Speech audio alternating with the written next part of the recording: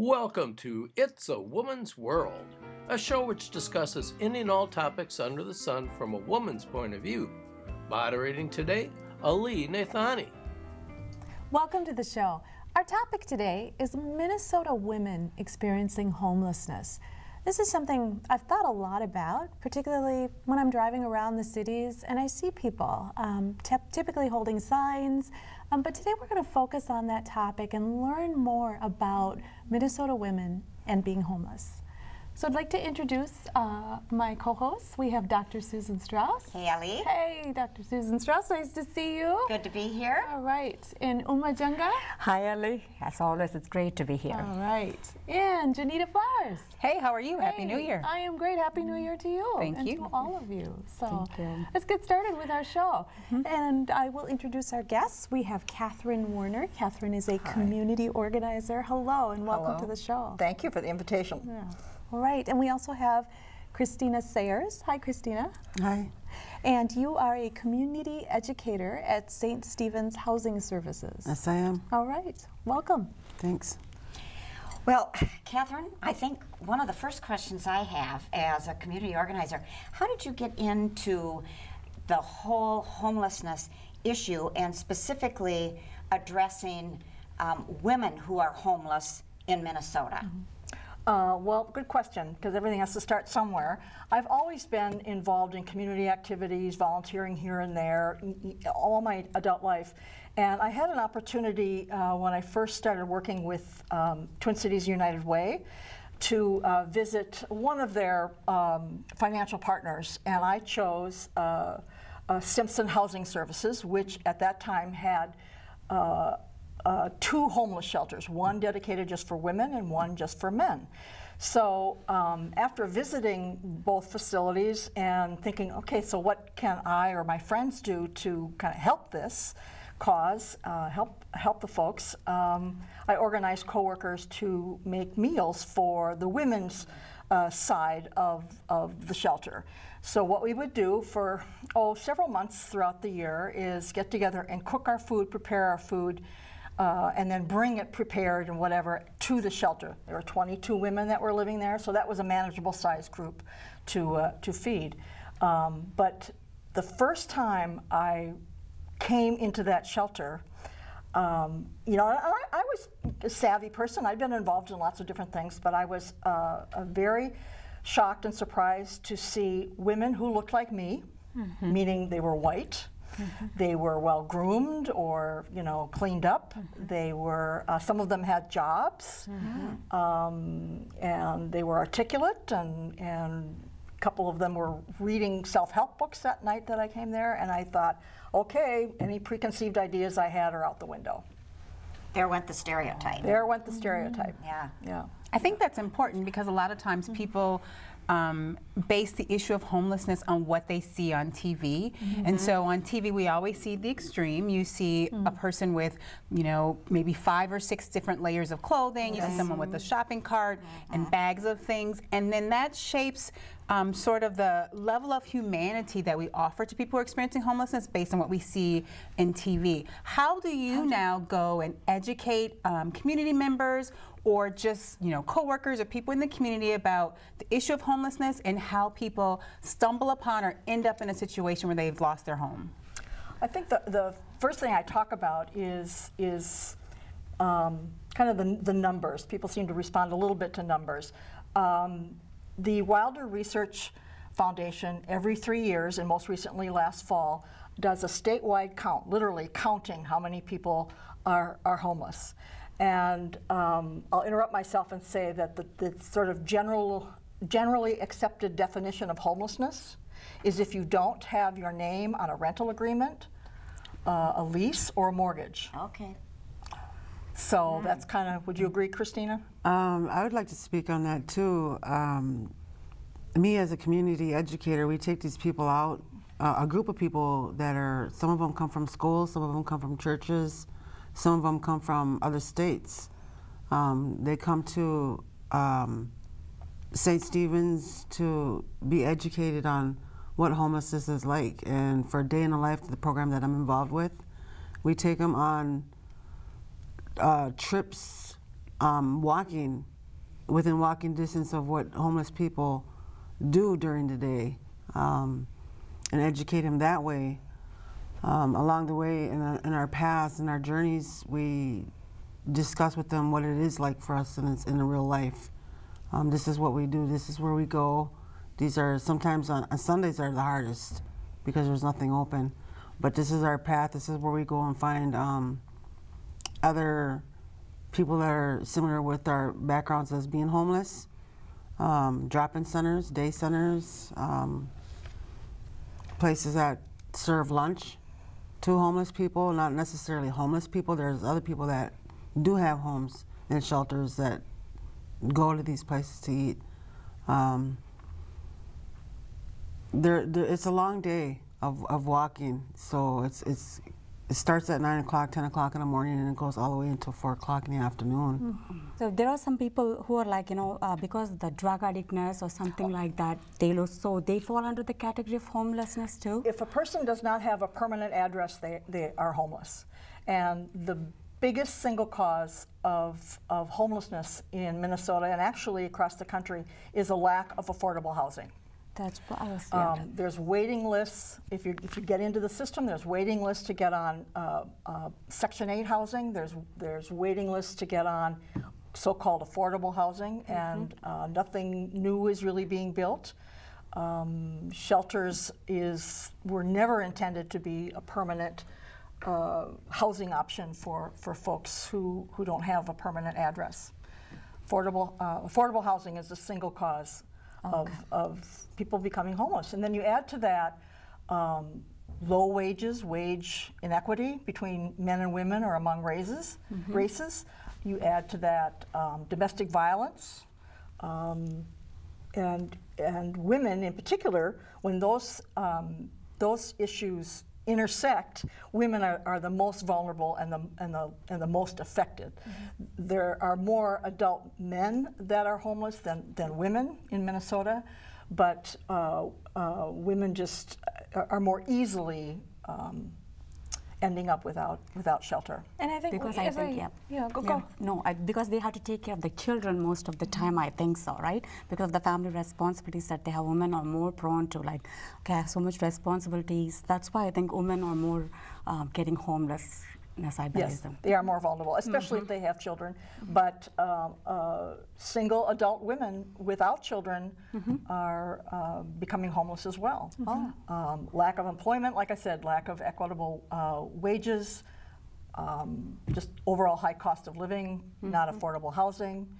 Um, you just, you know, a- and, and among women, the group, the subgroup of women, women who are older, 55, 60, you know, then that becomes even more of a crisis. And then you add into the mix um, chronic health concerns or maybe just aging health concerns if you don't have health insurance um, or you can't pay for your, your medicine or whatever, you're likely to be on the street. If you um, look at the population of women in Minnesota that are homeless, I, can you give us a range of the age, and then could you give us the um, the mean? What what do you think is the mean age of women that are homeless in Minnesota? Uh, I can tell you this: uh, adults in Minnesota are uh, are fit the age of 22 to 54. That's men and women. Uh, 45% of the homeless are adults in that age group. Older adults, they separate that out, is 55 and older. Um, that's actually 9%, which isn't a whole lot, but it's it's on the increase. Um, women are women adults are not counted separately so much in this particular study that I referenced from the Wilder Foundation, but children, um, unaccompanied children, um, children who are homeless but not with a parent are like two percent, but children 17 and younger with their with a parent, and usually it's a woman, but not always, is- is 36 percent. And if you add to that teenagers who are homeless, and I, I like to share too that teenagers are homeless not so much because they're running away or acting out, they're usually fleeing something, some sort of abuse situation, or they were kicked out of the house. Mm-hmm. Mm-hmm. Um, for, mm-hmm. s- for some any number of reasons. And, you- Katherine, I just want to pause right there for a Sure. second because I think that's a really uh, a good point we need to call out. Uh, I think there are many myths around homelessness, and um, you know, so simply from well, I saw the sign at McDonald's, so why don't you get a job there? To to what you're saying, just particularly about teenagers, and and when you hear that. Wow, doesn't that put a different uh, lens on what the problem is? They are fleeing uh, from a situation, and we often think of teenagers, unfortunately, you know, as they're the problem causes or they're they're just being defiant. But I just, as we think about some of the myths, you know, surrounding homelessness, and and I th- I think the lack of education um, that is not there with the general population. Uh, you know, can you speak to some of that? Um, teens who find themselves homeless have it's usually like a battered woman situation, domestic violence situation. It's usually uh, last minute. There's no preparation. There's no packing. There's no, you know, saving up for. There's there's none of that. And they're and they have they lack life skills, of course, like somebody, uh, like maybe their parents. Um, so when they become homeless, it re- they're extremely vulnerable, extremely vulnerable, and and um, um, and fortunately, there are more resources coming out to help teens uh, who are homeless. One of the things I used to reference um, when I was working with teens that were experiencing homelessness, um, you know, when you think about 15 to 16 year old age range, and just to kind of put it in perspective, and you know, think about a cousin, a niece, a sister, nephew, um, and they're planning their prom. They're going to prom and they're shopping. But then you have another 15 or 16 year old. Mom's been in a series of abusive relationships, and then she mm-hmm. finally finds this guy. She really wants to make this work. So then there's this tension in the home between the 15 year old daughter and this new boyfriend that comes in. They don't get along, and mm-hmm. mom made a choice, and mom made a choice for her boyfriend. And so the 15 year old who normally would be planning to go to prom or some event at school, she now had to figure out mm-hmm. What do I do? And so she ended up on the street. And thankfully in Minnesota, we do have a we have more and more resources that are becoming available because we mm-hmm. understand this population is very vulnerable and they are experiencing homelessness at higher and higher mm-hmm. rates. Um, but then it becomes this subculture because now they've connected with other teens. Now they're all vulnerable, but now they've connected and you found someone who understands what you're going through. And so there's like this bond that happens. But then there's that pattern of now what do they do? Do they now work towards those goals again, moving back towards home? Or do they stay among this new sort of family, um, but they are still vulnerable? And that's an issue that I, when I worked with homeless families, that um, we struggled with often because teens want to belong, but the only place I'm belonging right now is with other groups of teens that are experiencing homelessness. So it's it's trying to figure out when you're 15, you should be able to plan just the whimsical things of life. They're making decisions that are even tough for adults. That's what I found. I don't know if you've seen the similar things. Well, uh, uh, teenagers are the most uh, likely to become homeless in Minnesota of all the groups, and uh, um, 35% of homeless families have teenagers in them. Mm-hmm. Hmm. Christina, I'd be very interested to hear your story. How mm-hmm. did you become homeless? Mm-hmm. How oh. long were you homeless? How did you do it?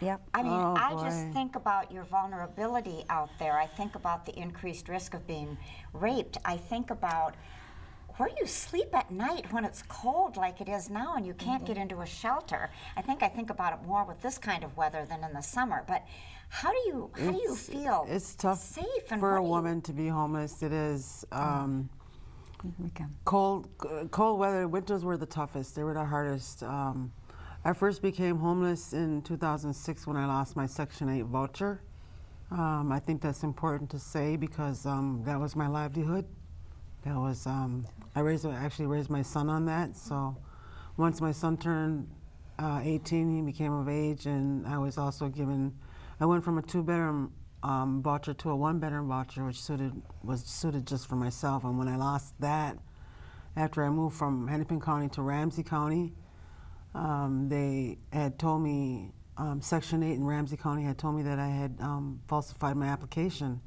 and pulled um, my Section 8 voucher from under me so that um, I couldn't afford housing anymore with the income that I had, and I was living on general assistance. That was helping me um, pay my rent. Um, How much after I- time did you have when, when you lost the voucher? How much time did you have to figure out what's my next step? Like 30 days, one day? Um, I think it was 30 days. And then within two months, I was out of my apartment. And so, Um, what do you on the do? street. I mean, what, what, what do you, I can't even imagine. What do you do? What, what can you take with you? Where do you go? I, all my belongings. I. I um, actually met a guy that I, that wasn't good for me. Um, the relationship wasn't good at all. It was uh, abusive in every way. Um, asked me to move my stuff and my belongings with him, my property, into his apartment, and I did, and it was a terrible mi- uh, mistake, a decision on my part. So I became homeless when I lost my apartment, and that was a bad mistake, bad choice that I had made. Where did Um, you go then? How do you know what to do? Um, I didn't have any resources. I was scared. Um, I didn't know how to survive. Um, Didn't didn't know who to turn to. I didn't have any family, um, friends. So um, So then you moved. So you moved your belongings out of your apartment, and you connected with a gentleman that turned out to not be a positive influence and not good for you. So you decided I needed to move from his place. And at that point, is that when you sort of when you mentioned the nine to four, where you're kind of walking around on your feet all day, and then at night you would just find like a like a semi exclusive you know place you know under a bridge or you know yeah, some. I've um, never never experienced the bridge part of it, but um, there were other places like um, parking lot stairwells, um, apartment building stairwells, um, bushes. Oh wow. Um, so, like, did you have a blanket or a coat, or how did There, you stay warm? there were times where, um, in cold winter months like this, where we try to go indoors. Um, uh, downtown, there's a um, shelter called Harbor Lights, Salvation Army Harbor Lights. Was one resource we could get in there any hour of the night. Weren't there some restrictions? I might be wrong here as to how many individuals are allowed in at one time, or am I wrong on that? At that time, there wasn't, and Okay. since I've gotten my own apartment, um, a lot of rules have changed since then. So um, a lot of things have, um, the circumstances with these shelters had changed. Um, they took out a lot of um, beddings, beds, so there's not a whole lot of shelter anymore for women out there. I, I yeah, um, I slept in the hallway on a mattress that was probably an inch thick. Um, we were given sheets as you know, uh, a sheet for our, our mat and then a sheet for our blanket. Um, the hallways were uh, lit with lights all night long. Um, there was noise and traffic in the hallways all night long. Um, me being on my feet all day, I, it didn't matter to me. I just put my pl- earplugs in and, and went right to sleep because my feet were tired. I was tired. Was it a safe place? Um, not necessarily for some people who are extremely vulnerable. Um, that would be people with the mental health issues. yeah. Um, people that were um, didn't know how to stand for themselves. And how did you earn income while you were experiencing homelessness? I, I know you had um, an example of um, something that you used to be able to earn money while you were experiencing homelessness. I still use the resources of general assistance, and I had um, a medical statement through my doctor, my primary care doctor. Um, I was going through my own mental health issues, which was depression and anxiety, and those kind of things. Um, all those rooting from even my past, but even more so that I was homeless. Um, the anxiety was real high because of my situation, my living situation. So there, uh, it- there's no escape from that.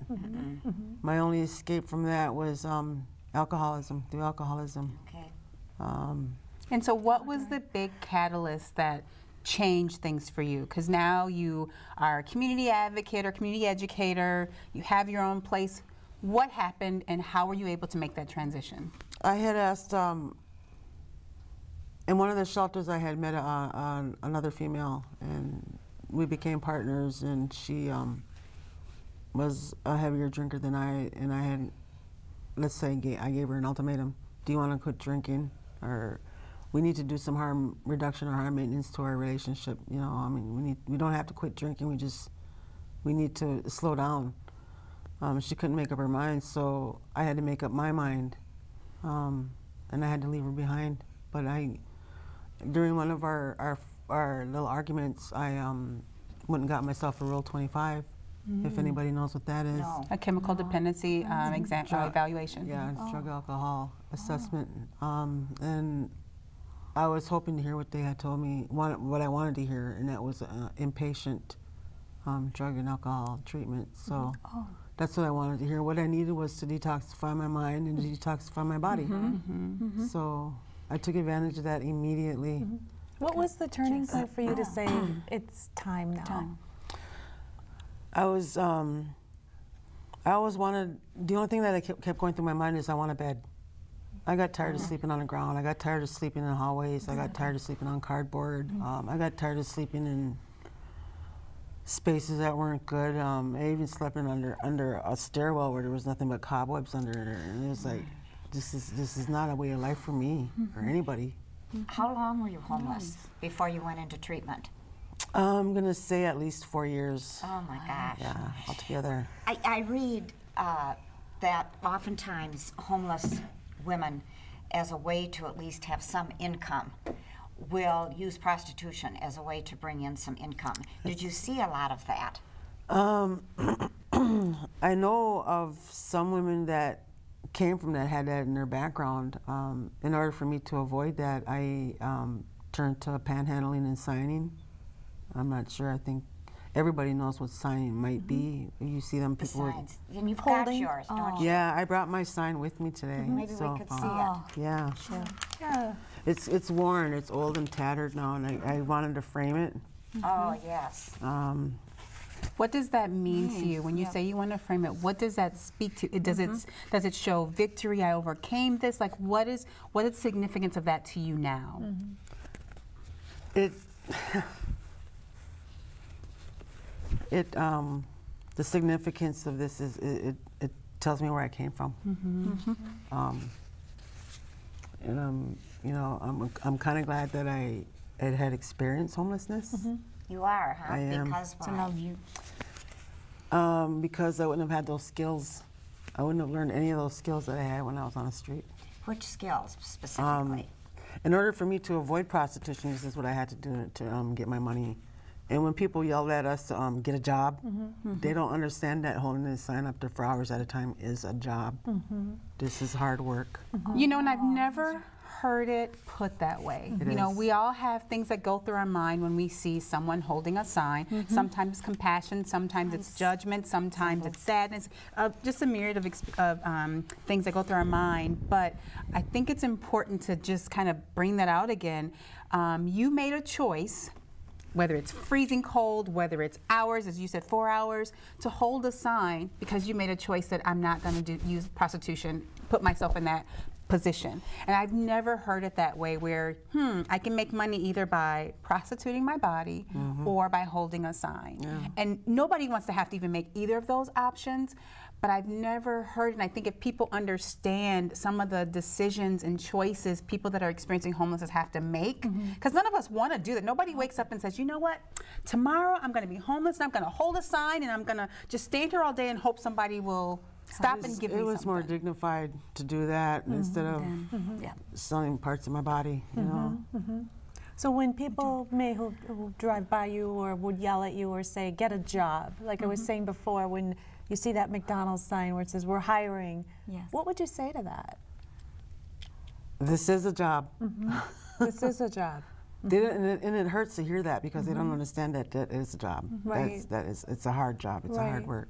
Well, the other piece is you can't get a job unless you have a permanent address. Exactly. Or an ID. can't? Yeah. Oh, No. even Or for ID. McDonald's, even You for. McDonald's. And one of the things um, uh, a shelter will provide, um, and there are several that are that have much better um, uh, facilities and management than Harbor Lights. But Harbor Lights also provides, you know, dozens of beds that nobody else can accommodate. Um, um, is a mailing address. So it's really important. There are shelters where, that, that provide their guests, their, their people, a mailing address, even for the days they're not staying there. So you can have your driver's license, your paycheck, your whatever, uh, mailed to you, to you there.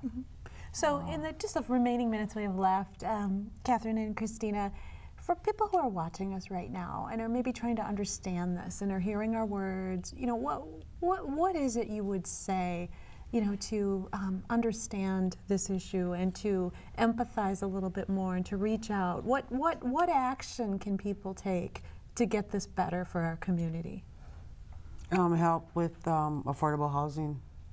Um, that's how. That's what and how I got back on my feet. Mm-hmm. Yeah. Without St. Stephen's help, I, I wouldn't be where I am today. Okay, so some more resources with the affordable housing Yeah. um, outreach. in that Landlords, landlords that would be willing to help. Okay. Um, landlords that would be willing to go that extra mile Mm-hmm. to help somebody. Yeah. You don't see that much, huh? No, not at all. Pretty judgmental? Yeah. Yeah. And then you have landlords that are raising their rent too. Yeah, so I just read about that in the paper. yeah. And then some of the rent and property is filled with molds and rats and so forth. That's what we call slumlords. Slumlords, I've heard that word, yes. And so, was it the Rule 25 or the chemical dependency assessment? Was that the piece that reconnected you to services and then ultimately connected you with St. Stephen's? Or what was that next piece where you were able to get that stability again? It did, but it, my choice was after treatment was to um, go back into the shelter because I felt like if I was gonna um, have any part of my general assistance taken from me, that I was gonna have my own apartment. So I went back into the shelter. And you can't of going- access services unless you're in the shelter, right? Yeah. Yeah, Oh, people okay. don't know about you.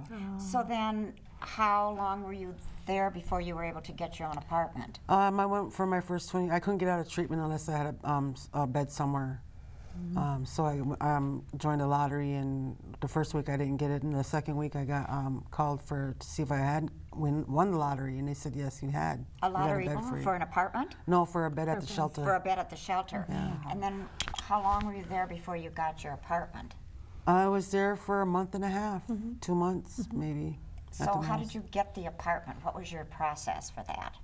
Um, when we were on the streets, my partner and I, we, we had applied with um, St. Stephen's Outreach Okay, for apartment or housing, and that's where it all began for us when we were when we were probably two years into our homelessness. Mm-hmm. Mm-hmm. Um, wow. So after treatment, I went ahead and um, got got in contact with them, and that's how it all began again. Mm-hmm. I am in awe of your courage and your stamina Definitely.